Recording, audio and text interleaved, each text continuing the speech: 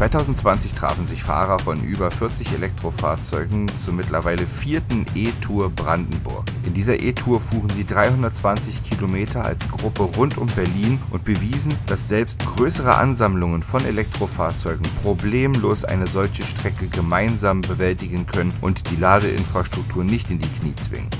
Und weil das so gut klappte und allen Teilnehmern Spaß machte, ist es Grund genug für eine Neuauflage.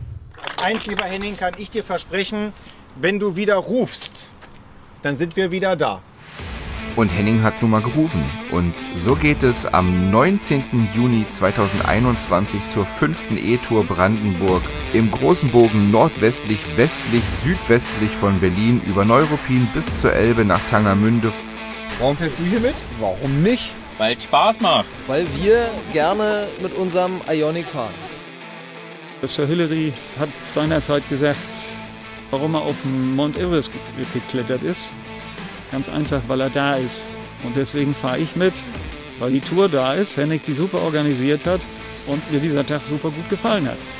Die diesjährige Tour umfasst insgesamt ca. 350 Kilometer nach Rotensee bei Magdeburg. Dort am Schiffshebewerk der Schleuse, dem Wasserstraßenkreuz, über Magdeburg zu einem Spargelhof bei Belitz, inklusive Lademöglichkeiten an den diversen Zwischenstopps und Link findet ihr selbstverständlich zur Anmeldung in der Videobeschreibung.